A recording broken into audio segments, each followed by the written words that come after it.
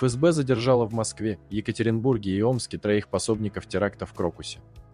Задержали гражданина России и двух иностранных граждан. Они финансировали покупку оружия и автомобиля для совершивших нападение.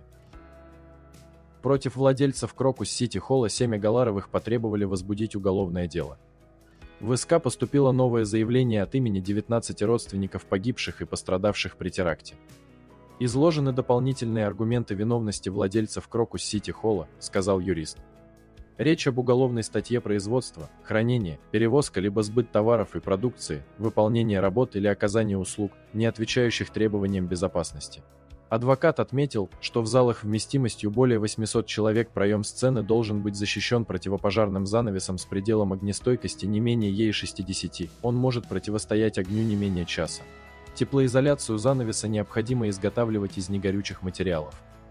Вся эта информация подлежит проверке для решения вопроса о наличии состава преступления и возбуждения уголовного дела в отношении владельца концертного зала Крокус Сити Холл, подчеркнул адвокат. Стремительному распространению пожара могли способствовать материалы, которые использовались в ходе отделки здания. Такое мнение высказал источник в правоохранительных органах. По словам специалиста, горючие и токсичные материалы могли способствовать быстрому распространению огня после поджога здания. Кроме того, подобные материалы выделяют едкий, ядовитый дым.